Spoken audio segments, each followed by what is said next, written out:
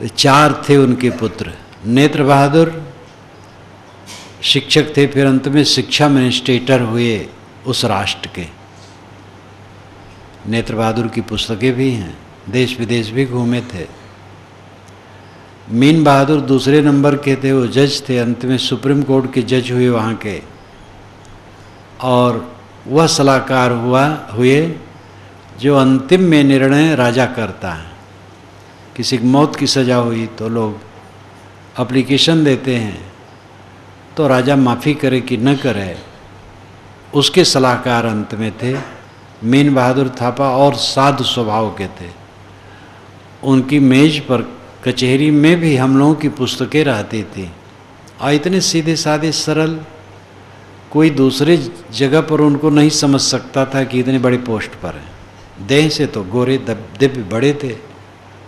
लेकिन बहुत साधारण रहते थे। तीसरे लीला बहादुर श्री आज्ञा साहब साधु रूप में रहे जिनका कल शरीर छुटा। चौथे छोटे भाई थे दिव्यानंद जी जो वेदांती हो गए थे, विद्वान थे, दिल्ली में पढ़ाते थे वेदांत, बहुत त्यागी थे। वो भी, चार भाई सब।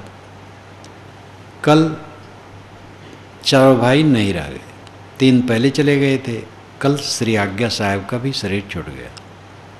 उनका शिष्य मुझे फ़ोन किया, शरीर सबको छोड़ना है।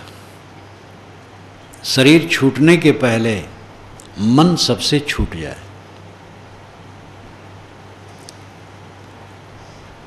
यह साधना करने की ज़रूरत है। काल निर्दय है, किसी पर दया नहीं करता। ये साधु ही शरीर नहीं छोड़ेंगे, गृहस्थ भी छोड़ेंगे। जब छोड़ना है, मरना है, जब अवश्य मोहब्बत करना झूठा, करिए भजन विचार विषय से रहिए रूठा, श्री निर्मल साहब ने कहा। जब मरना अवश्य है तो मोह करना झूठा है। इसलिए सबको मोह त्यागना है। धाय की तरह गृहस्थी में रह करके साधना करें। साहब ने कहा है, बालक के रिधाय जो आपन जानत ना है। कमल पत्र हैं, संत जन रहें जगत के माए। बालक के रिधाय जो आपन जानत ना है। दो उदाहरण है। कमल के पत्ते की तरह रहना। कमल पानी में रह करके भी पानी से ऊपर रहता है। ऐसे संसार में रह करके संसार से ऊपर रहे। दरिया से न्यारा रहे, दिसे दरिया माए। ये भी साहब की आदि साखी है। समुद्र में, नदी में, दरिया नाम, समुद्र दरिया नाम, नदी। नदी समुद्र में रहे लेकिन उससे न्यारा रहे दरिया से न्यारा रहे दिखे दरिया माँ। संसार में रहते हुए संसार से असंग।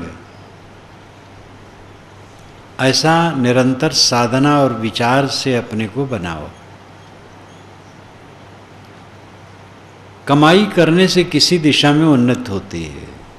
खेती में जो बिल्कुल लगा रहता है, उसकी खेती होती है।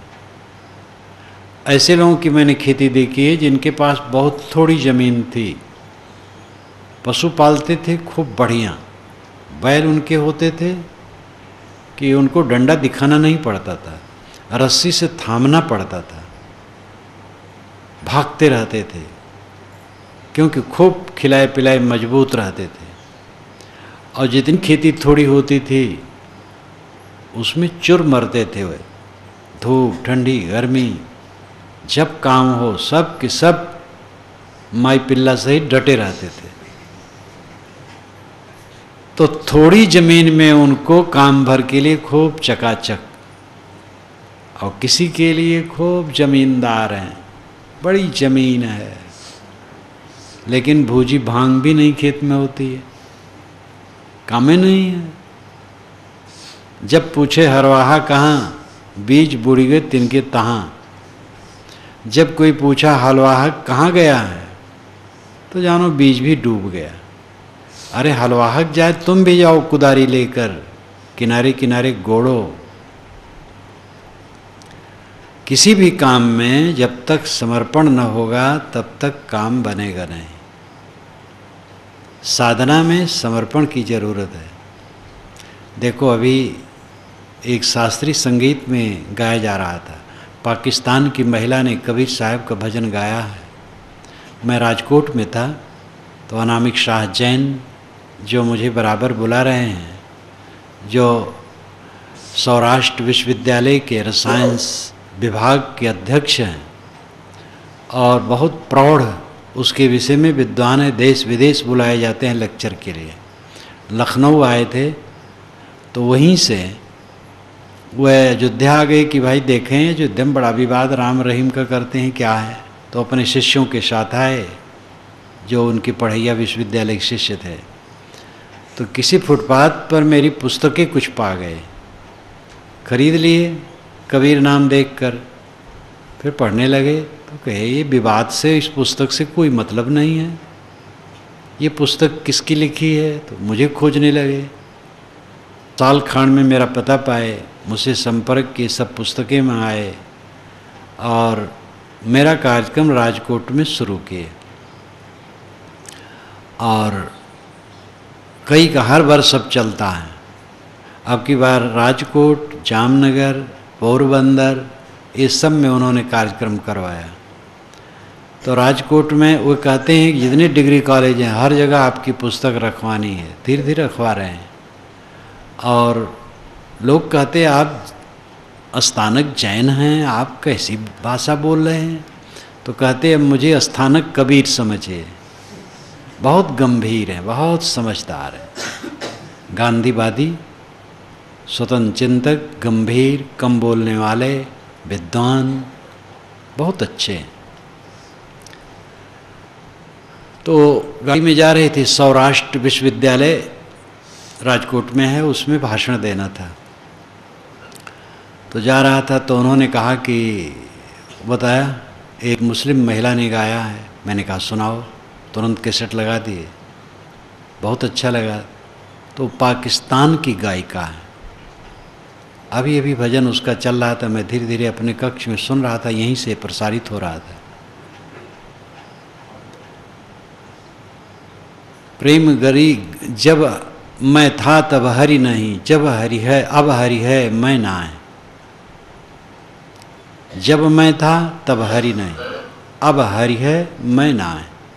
प्रेम गली अति सांकरी, जामे दो न समाए एक साखी काफ़ी।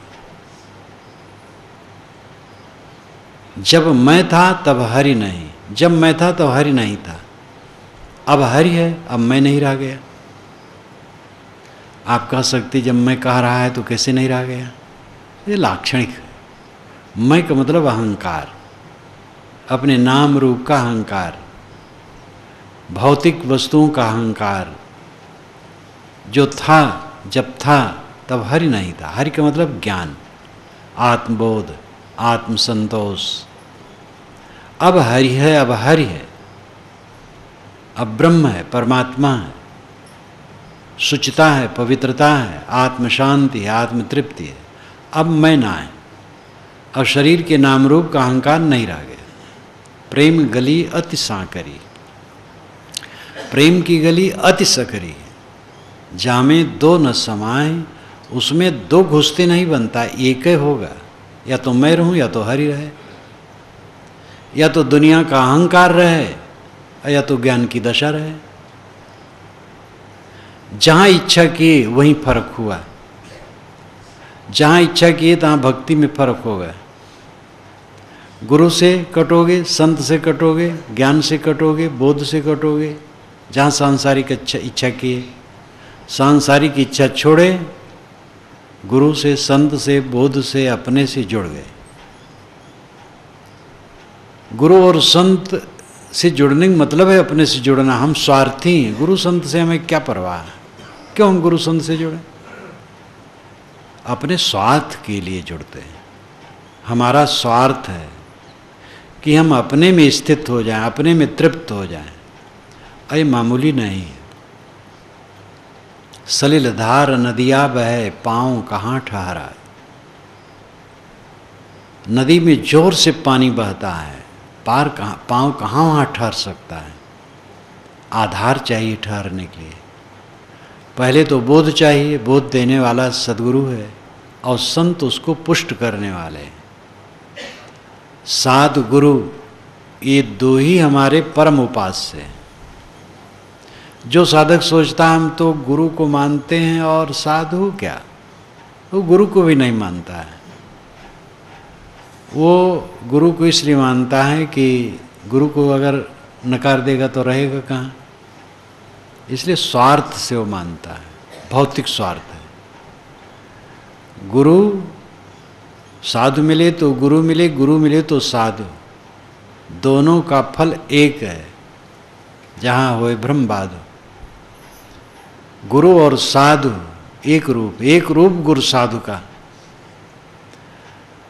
जिसे कल्याण में प्रीता होगी, गुरु में श्रद्धा होगी, संत में श्रद्धा होगी। और गुरु और संत में श्रद्धा, आज्ञाकारिता, समर्पण किस लिए अपने गर्ज के लिए। मेरी गर्ज है। आत्म शांति चाहिए। तो इस बात को कोई बताने वाला हो और उसके साहचर्य से हमें प्रेरणा मिले। अब बताने वाला तो कोई है।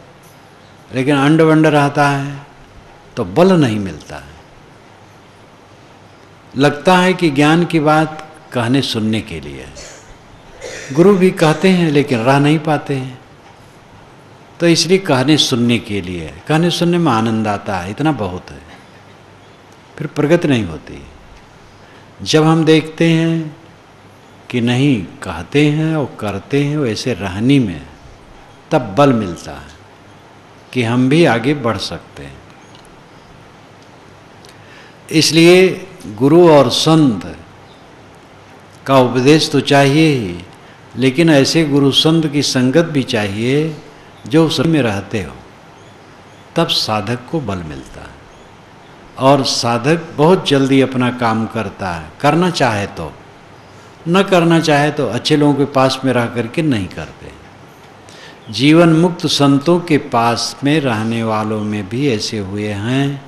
रहने वाले ही नहीं, केवल शिष्य भी थे उनके और समर्पित थे, लेकिन उनसे ग्रहण नहीं कर पाए। और रह गए ऐसे कैसे? कुछ लोग तो ऐसे रह गए, उनकी शक्ति ही इतनी थी, शक्ति अपनी जगह नहीं पाए थे। कुछ लोग तो ऐसे हुए कि उठपटांग हो गए। तो अब क्या करें? बाँस बजाए फूक। बाँस में फूक मारो, उधर निकल गया।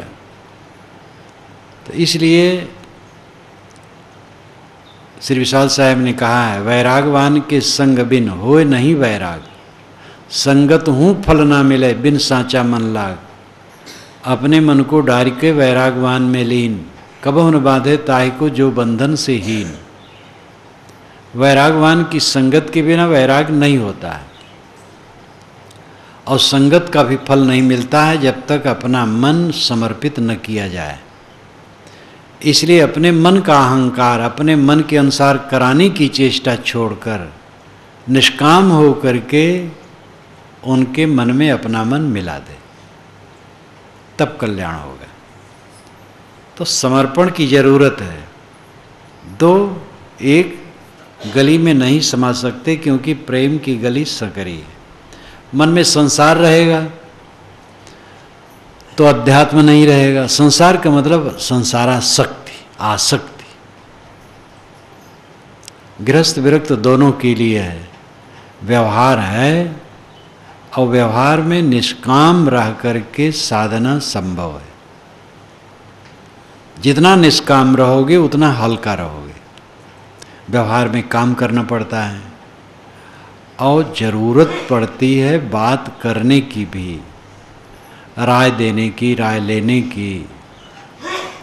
एक जगह रहो, उल्टा हो रहा है, न राय दे, कैसे बनेगा हार जाने की बात अलग है, हार गई चलो भाई चुप रहो जो में तो उन्होंने दो।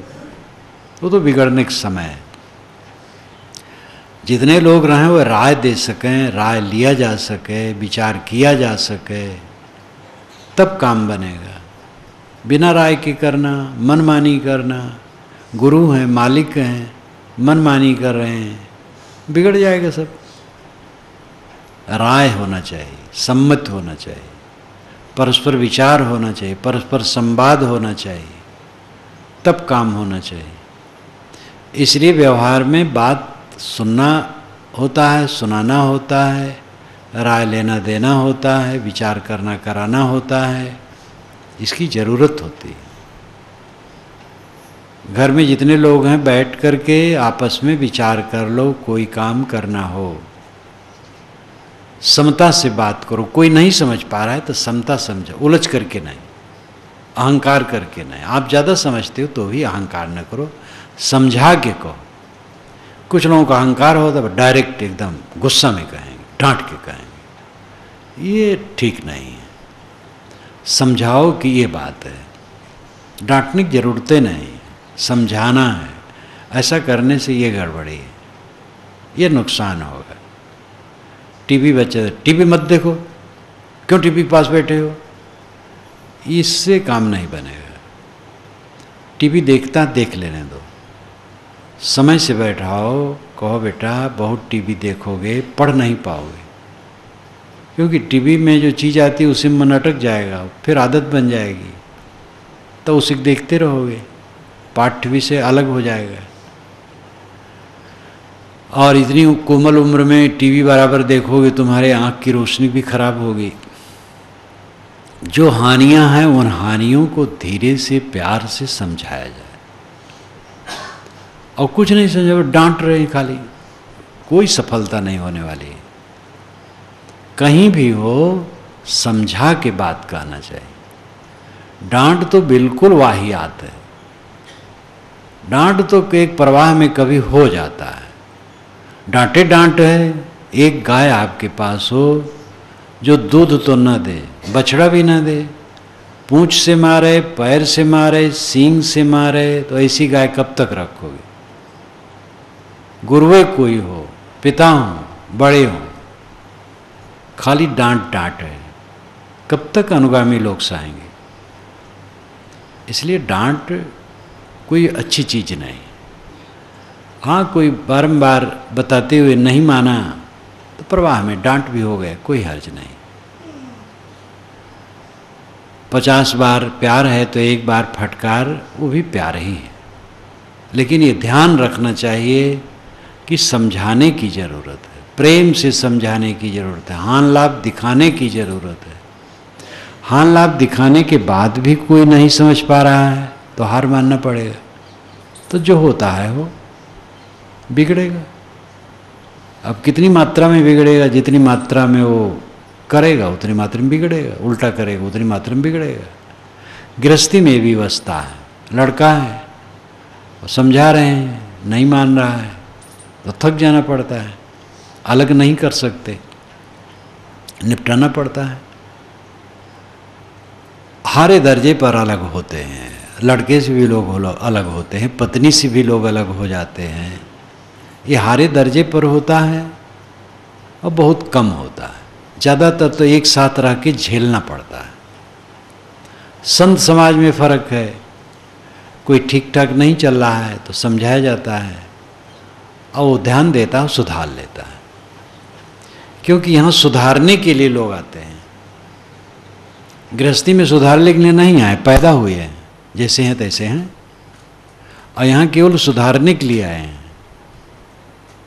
तो यहाँ सुधरना है, नहीं सुधरना है तो चले जाएँगे। अपने आप चले जाएँगे। या कह दिया जाएगा भाई चले जाओ, जब तुम सुधर नहीं रहे तो चले जाओ। घर में कहाँ कह देंगे किस लड़के से कह देंगे? वो तो गला दबा करके हिस्सा लेगा। इसलिए दोनों में बहुत फ़र्क है। तो ऐसा होता है और उसको सहना पड़ता है। लेकिन ज़्यादातर समझा करके बात की जाए तो सुधार होता है। सुधार के लिए समझना समझाना बहुत ज़रूरी है। जैसे कि प्रत्यक्ष उदाहरण है मठों में। प्राय लोग कहते हैं, महाराज, शांति नहीं। मंत लोग मिलते हैं तो कहते हैं, जब घूमता हूँ तो तो आनंद रहता है और मठ पर आता हूँ तो मन दुखी रहता है। इसका मतलब कोई अमुक कहा नहीं माना, अमुक कहा नहीं माना, उल्टा कर रहा है। अंड बंड हो रहे हैं, आपस में झगड़ रहे हैं तो शिक्षा नहीं है। शिक्षा का अभाव है। शिक्षा होनी चाहिए। यहाँ का प्रयोग जो है, रोज दोनों टाइम्स दो दो घंटे बैठते हैं। सत्संग, शिक्षा, उपदेश चलता है। वैसे भी ध्यान रखा जाता है, कोई बात हो समझाया जाता है। तो बहुत अंतर है। आपस में विवाद नहीं देखा जाता है। साठ, सत्तर लोग रहते हैं। मैं नहीं रहता हूँ तो भी पैंतीस, चालीस तक रहते हैं। लेकिन विवाद नहीं रहता है। अब स्वभाव ऊंच नीच तो होता है। सबका एक स्वभाव तो नहीं होगा। उत्तम, मध्यम, कनिष्ठ भी होते हैं। कोई योग्य है, कोई कम योग्य है। तो स्वभाव तो सबका अलग अलग रहता है। और अलग स्वभाव होने से कुछ वैसा बर्ताव, कुछ वैसी बोली भी कर सकते हैं। लेकिन आपस में विवाद नहीं रहता है। सब प्रेम से रहते हैं। और बहुत दिनों के बाद आता हूँ, तब भी ये पता नहीं चलता है कि किसी से विवाद हुआ है, झगड़ा हुआ है। सब प्रेम से है। और काम जो करना होता है, मानो कोई काम हो रहा है तो वो काम भी सब मिल के करते हैं। एकदम शौक से, प्रसन्न होकर। तो ये सत्संग, चिंतन, मनन का प्रभाव है। यही ढील हो जाए। सदग्रंथ पढ़ना छोड़ दे, पढ़ाई लिखाई छूट जाए, सत्संग छूट जाए, औपचारिक खाली पाठ उठ थोड़ा कर लिए। और बस खाली व्यवहार तो मन क्या होगा? बिगड़ेल मन है ही अनादिकाल से। बिगड़ेगा। फिर झगड़ा झंझट, फिर विवाद, फिर स्वार्था स्वार्थी फिर प्रपंच, यही कुलाएगा। क्योंकि यहाँ के मनुष्य कहीं आकाश से थोड़े आए हैं। मनुष्य वही है।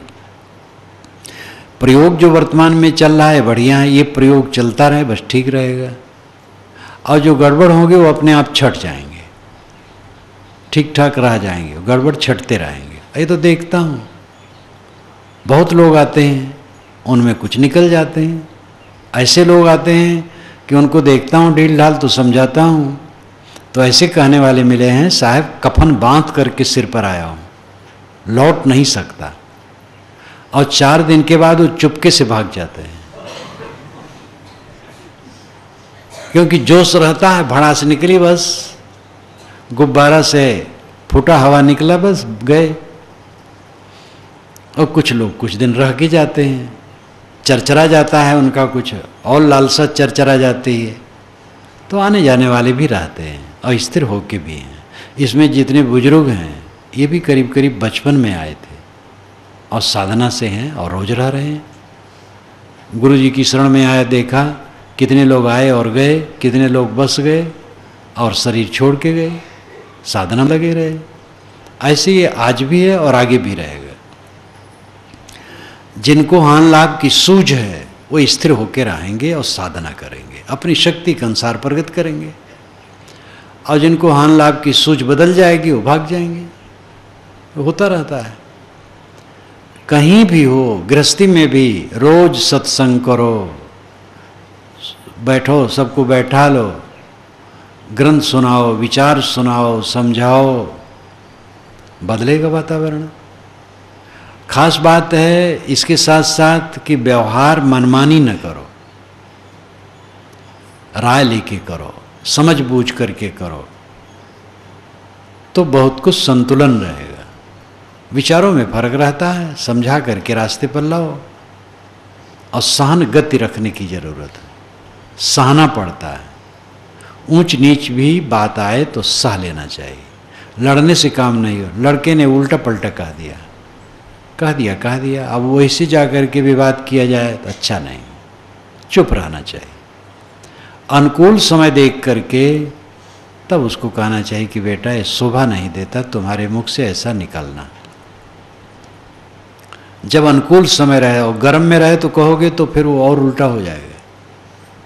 बड़ा चक्करदार संसार है। ये आदमी को निभाना बहुत मुश्किल है। बैल घोड़ा गाय को निभाना बहुत सरल है। हज़ारों हज़ारों जानवर पाल लीजिए। चारा पानी दीजिए, निवास दीजिए, बस कोई चिंता नहीं। लेकिन एक मनुष्य का बच्चा पाल करके निभाना बहुत मेहनत है। ये मनुष्य का बच्चा उफान शैतान करने वाला। महा इच्छा वाला तमाम ख्वाहिशों से भरा। पता नहीं कैसा कैसा उफान शैतानी करना चाहता है। इसलिए मनुष्य में देव भी हैं, दुष्ट भी हैं, और विनम्र भी हैं, सांप बिच्छू की तरह भी स्वभाव वाले हैं, सभी प्रकार के लोग हैं। राय दे ले करके समता से चलना अपने शरीर के लिए कम वस्तुओं का उपयोग करने की सोचना और करना। हम बड़े हैं, इसलिए हमारा खान पान कुछ और होना चाहिए, ये नहीं होना चाहिए।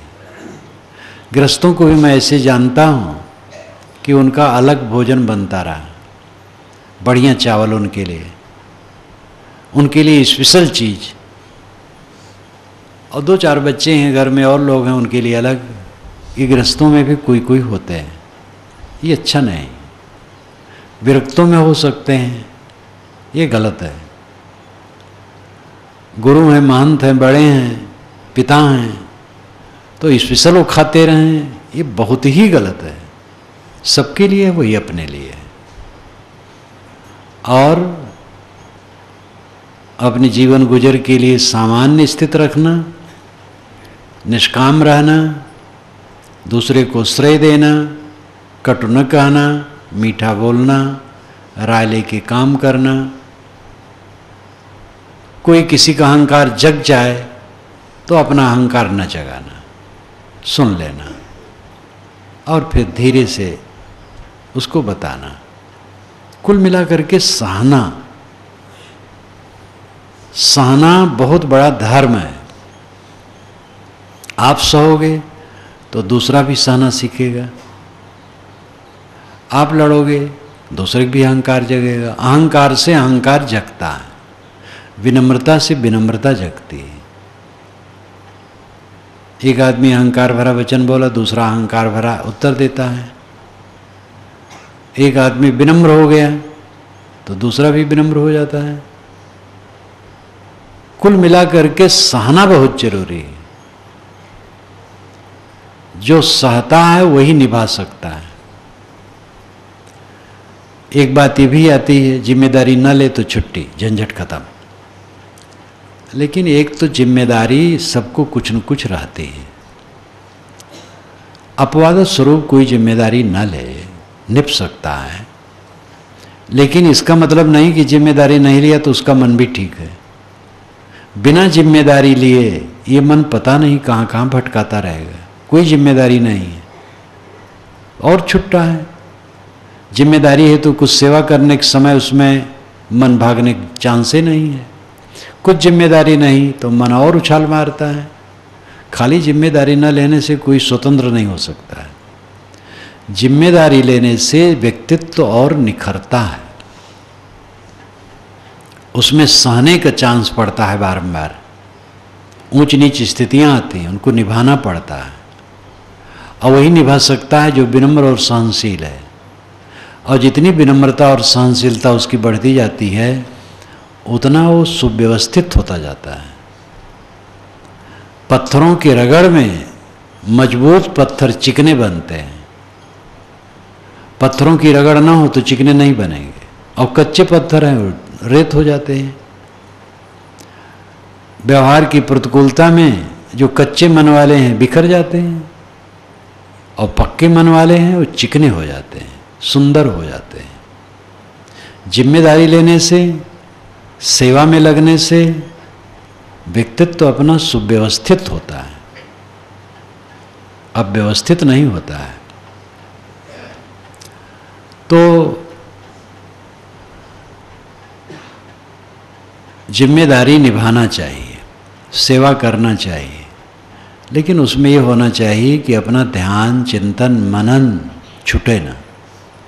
वो बना रहे। कल्याण का काम जो व्यक्तिगत है, उसको ढील न करे। और ज़िम्मेदारी काम भी ले, सेवा भी करे। गृहस्थ विरक्त कहीं भी हो, सहना ज़रूरी है। सह करके ही समूह में रह करके साधना संभव है। और समूह में ही सबको रहना पड़ता है। छोटा समूह, बड़ा समूह। एक व्यक्ति और साथ में है, वही एक समूह हो गया। और एक व्यक्ति ही प्रपंची है तो ना को दम कर देगा। सौ लोग हैं, सरल हैं, कुछ अड़चन नहीं पड़ेगा। इसलिए कम लोग के साथ हैं, ज़्यादा लोगों के साथ हैं, ये अपना अलग महत्व है। साथ के बिना किसी जीवन चलता नहीं। और साथ में सहना। अकेले में कई ऐसे नैतिक गुण हैं जिसकी ज़रूरत नहीं है। अगर आदमी अकेले है, कई ऐसे नैतिक गुण हैं जिसकी आवश्यकता ही नहीं। लेकिन जब दूसरा उपस्थित हुआ, तब अनेक नैतिक गुणों की आवश्यकता पड़ती। है सह लेना, क्षमा कर देना, गम खाना, संतोष करना, विनम्रता से बोलना, ये दूसरा होगा तभी तो करने की ज़रूरत है। दूसरा है ही नहीं तो क्या ज़रूरत है? और दूसरा सबके सामने रहता है। अकेले बैठे रहो, वहाँ दूसरे आ जाएँगे। अपने शरीर में ज़रूरत है, खाने पीने की ज़रूरत है। रहने बसने की ज़रूरत है तो सहारा लेना पड़ता है। परम विरक्तों को सहारा लेना पड़ता है। इसलिए कुल मिलाकर के जो सहनशील है, संतोषी है, अपने निर्वाह के लिए कम वस्तु और सादा सरल वस्तुओं में गुजर करने का विचार रखता और व्यवहार करता है। किसी से कुछ नहीं चाहता है, दूसरे की सेवा करना चाहता है, राय मानता है, सरल रहता है। वो परिवार में रहकर, समाज में रहकर बहुत अच्छी साधना कर सकता है। परिवार की जटिलता मैंने पहले बताई कि अधिक जटिल है। लेकिन परिवार छोड़ करके भी काम थोड़े बनता है सबका। परिवार में रहो और अनासक्त रहो। परिवार में रह करके कुछ अपना ऐसा रखो, निवास अलग थलग रखो और वहाँ अध्ययन मनन के लिए जगह रखो। रोज अध्ययन करो, ध्यान करो, चिंतन करो और घर की सेवा भी करो।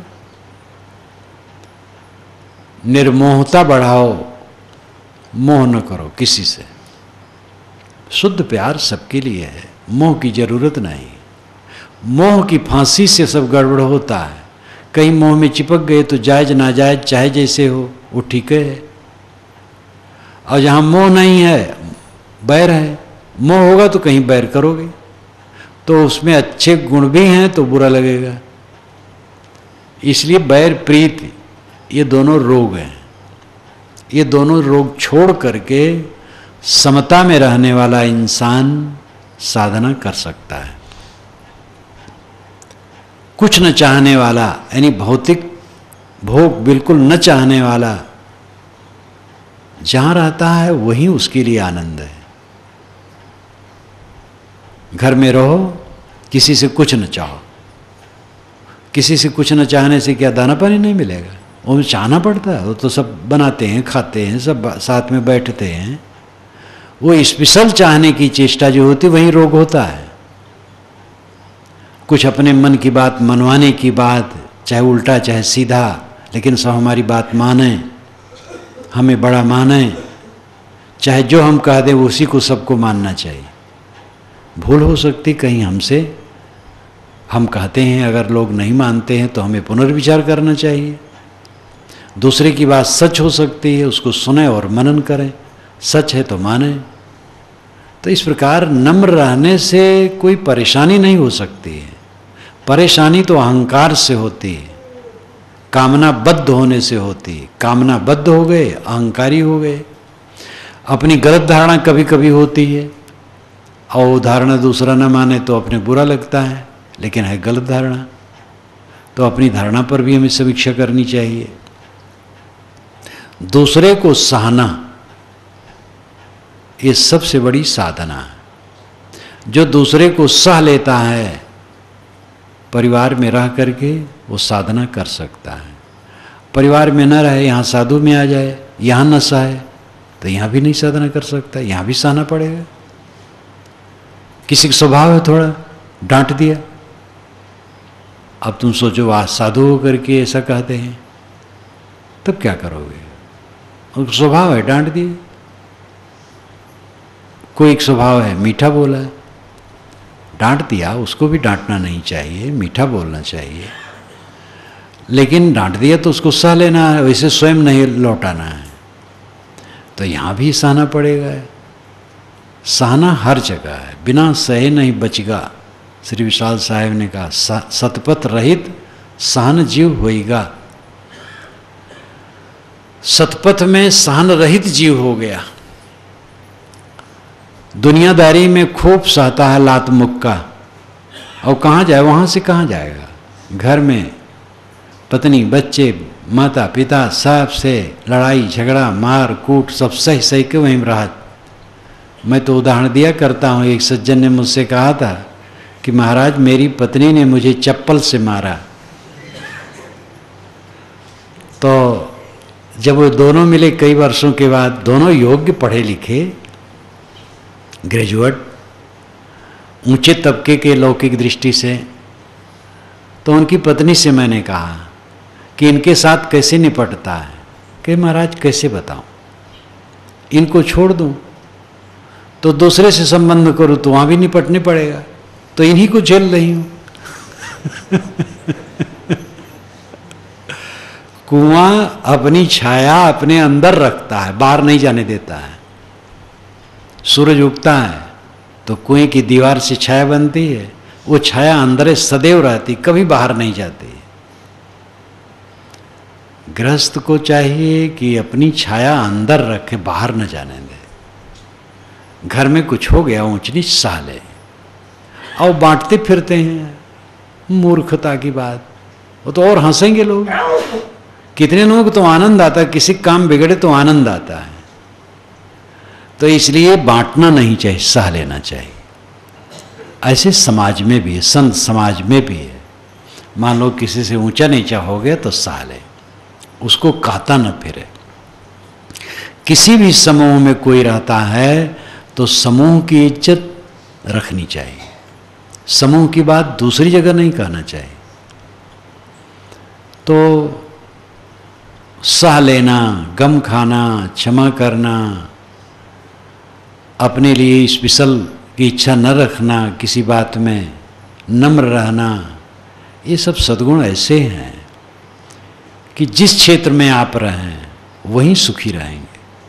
और इसको छोड़ करके कोई विरक्ते होके आके साधु समाज में रहे तो यहाँ भी वो झगड़ा झगड़ना चाहेगा और कुछ दिन में भाग जाएगा, वो कहेगा, देख लिया, वहाँ भी बैराग वैराग नहीं है। तो वैराग किसी कमरे में यहाँ रखा है। अरे, उसकी खुद वैराग नहीं था। दो से देखने की उसकी प्रवृत्ति थी। किसी जीवन मुक्त संत के पास जाए तो आप आप क्या देखेंगे? उसका शरीर देखेंगे, उसके कपड़े देखेंगे। खाना पीना देखेंगे, बात व्यवहार देखेंगे, यही तो देखेंगे। उसके अंदर की स्थिति आप कैसे जानेंगे? और सामान्य बातें तो ऐसे सब करते वैसे उसको भी करना पड़ता है। इसलिए दूसरे को समझना भी सरल नहीं है। इसीलिए बड़े बड़े पुरुषों को भी लोग समझ नहीं पाते हैं। हमें अपने को समझ लेना चाहिए तो सबको समझ लिए। हम अपना विनम्र रहें, सिर झुका के चलें, सब अच्छे हैं। गलतियाँ हमारी हैं जो हम सुधारते नहीं दूसरे गलती है तो वो सुधारेगा। हमारी ज़िम्मेदारी नहीं। हम अपनी गलती देखें और सुधारें। जो अपनी गलतियों को देखता और सुधारता है, उसका सब काम बन जाता है। वो दूसरे के लिए भी मीठा रहता है। क्योंकि साधक वही है जो विनम्र हो, निष्कामी हो। निष्काम और विनम्रता ये साधक के मुख्य लक्षण हैं। और ये गुण जिसके पास है, अकेले में रहे तो आनंद, दो में रहे तो आनंद, दस में रहे तो आनंद। अकेले में रहते रहते भी अकेले में इंसान नहीं रहता है। लोगों के साथ में रहना पड़ता है तो वहाँ ज़रूरी पड़ता है। एक महात्मा जरे बड़े बुद्धिमान थे और बड़ बोल थे। तो बैठे थे, एक सज्जन आए तो उनसे जरा बढ़ के बात कर दिए। तो मैंने कहा कि आप, वो जब चला गया तो मैंने कहा, आप ये कैसे बोल देते हैं? कि हाँ मैं ऐसे बोल देता हूँ। एक भगत के यहाँ था तो मैंने कहा, भगत से, कि तुम बेवकूफ़ हो। तो उसने कहा, साहब, आप भी बेवकूफ़ हो।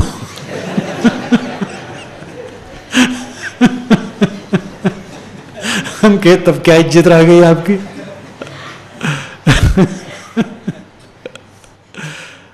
तो कुछ लोग बड़बोले होते। ये ठीक नहीं। बाई छोड़ दे अभिमानी। ये साहब का भजन है। बानी छोड़ दे अभिमानी। अभिमानी वचन मत बोल, नम्र हो के बोल। हर आदमी शराब जैसे पिए है। और पता नहीं कब क्या नशा चढ़ा रहता है। कब क्या निकल जाए ठिकाना नहीं।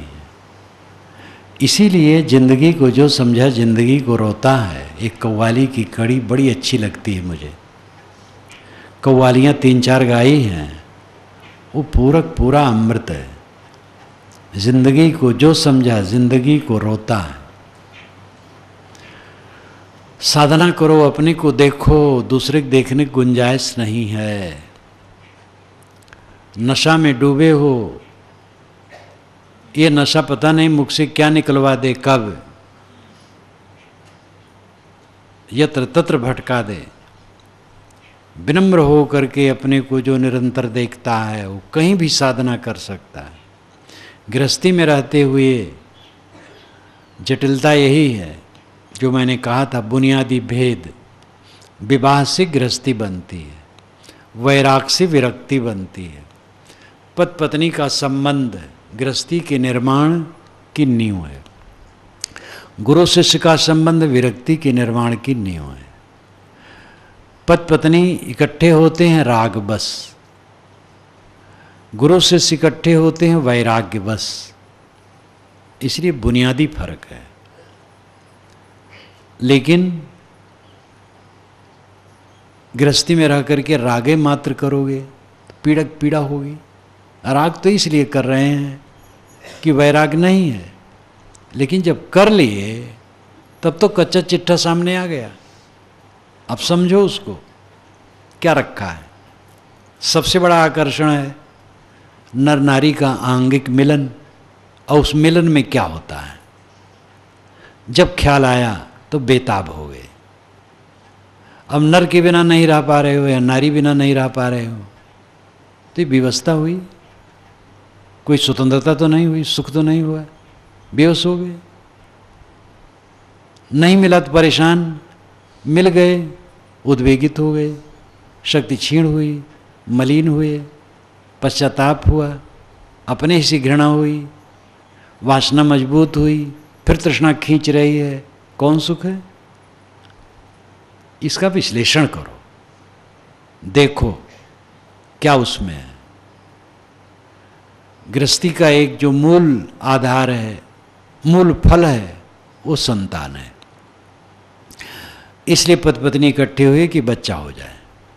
और बच्चा हो गया, अब और क्या चाहिए? नहीं बच्चा हुआ तो झंझट कटी। एक झंझट में पड़े, दूसरी झंझट में नहीं पड़े। जितने मेरी बातों से आप लोगों को गुस्सा आ सकता है, लेकिन फिर भी उसका विश्लेषण करेंगे तो सही लगेगा। अच्छे लड़का है, लेकिन निभाना तो पड़ेगा।